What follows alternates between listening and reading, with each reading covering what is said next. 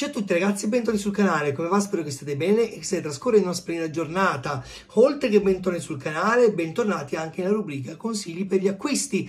In questo video mi voglio, mi voglio concentrare sul tuttocampista ivoriano ma di nazionalità francese, quindi un extracomunitario, classe 1996, Maxwell Cornet, e vediamo in quali squadre della Serie A potrebbe essere utile. Prima però di andare al nocciolo della questione, mi raccomando, lasciate un like al video, iscrivetevi al canale e attivate la campanella delle notifiche per rimanere sempre aggiornati sui contenuti che vado a pubblicare. Ma parliamo giusto brevemente di Maxwell Cornet. Mancino, 179 cm, grande eh, tecnica di base, esplosività soprattutto e soprattutto grande corsa e anche un buon feeling con il gol.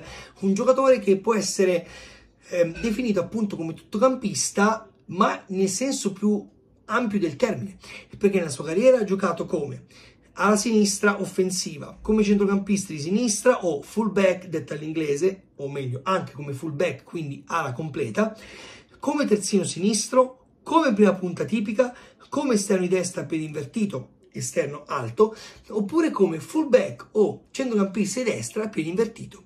Un giocatore veramente eccezionale che sa abbinare doti offensive a doti difensive. In stagione 29 partite, 9 gol e 2 assist per lui con il Barley, non sempre partito titolarissimo e che è stato appunto acquistato nell'estate, o meglio, a fine estate 2021 eh, ehm, dal Lione quindi il Barnley, il Barnley ha acquistato questo giocatore dal Lione per una cifra attorno ai 15 milioni di euro. Il Barnley però è retrocesso Ergo, io penso che non proprio magari 15 milioni, magari 16, magari 17, però il giocatore potrebbe trasferirsi per questa somma.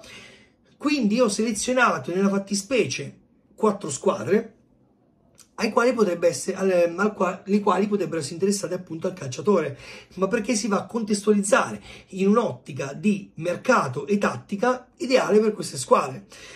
E vi dico anche, lo stipendio si aggira attorno ai 3 milioni di euro. Um, dovrebbero essere nelle fonti che ho trovato, diceva Gross, quindi lordi. Eh, 3 milioni lordi più o meno dovrebbero essere 2 milioni e 300 mila euro eh, netti, più o meno, ma comunque anche andando a eh, considerare il gross come netto, metti caso che magari un po' di fonti sono state errate, 3 milioni di euro è un ingaggio pienamente sostenibile per queste squadre di Serie A, quantomeno secondo me ovviamente se puntano sul giocatore. La prima e secondo me la più adatta è l'Inter, l'Inter che perderà Perisic, ha acquistato Gosens, ma una grande squadra deve avere mh, quantomeno due giocatori di qualità per ogni ruolo.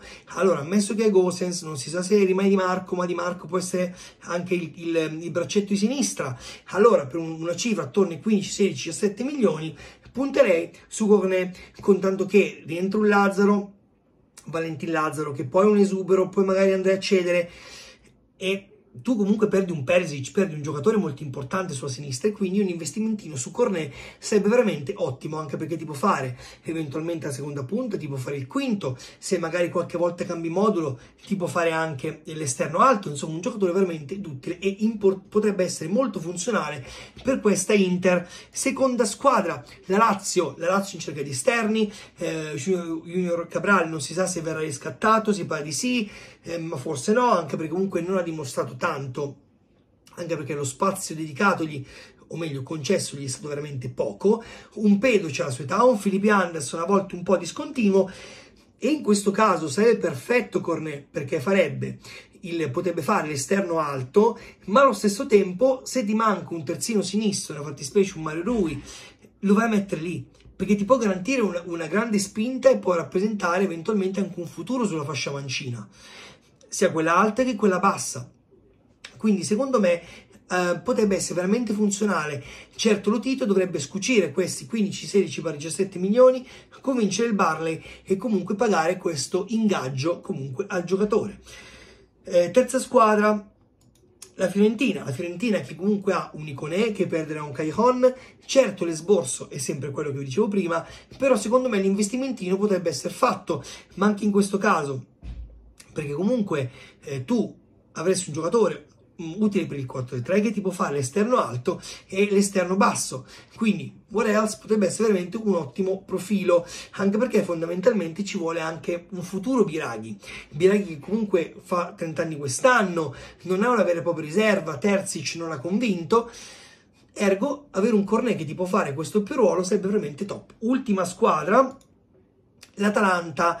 L'Atalanta che anche in questo caso ormai dopo l'elezione di Gosens è andata in crisi sulla fascia sinistra e a volte Gasperini ha schierato Boga, però Cornet sarebbe 20 volte più adatto in quel ruolo, quindi il eh, quinto di sinistra o il quarto di sinistra, molto più funzionale rispetto a Boga, perché comunque ti garantisce maggior feeling con il gol, gioca più di squadra Cornet, non è un solista come Boga, e quindi, ripeto, anche in questo caso potrebbe farti eventualmente l'esterno a tutta fascia, o magari se qualche volta utilizzi il Gasperini dovesse utilizzare il 3-4-1-2, può farti anche la seconda punta che si muove attorno a Zapata. Insomma, le, le, opportunità sono veramente tante. E ripeto, Cornet potrebbe essere un grandissimo acquisto per la Serie A, potrebbe portare velocità, qualità, dinamismo e utilità tattica. Ovviamente tifosi di queste squadre e non fatemi sapere qui sotto cosa ne pensate.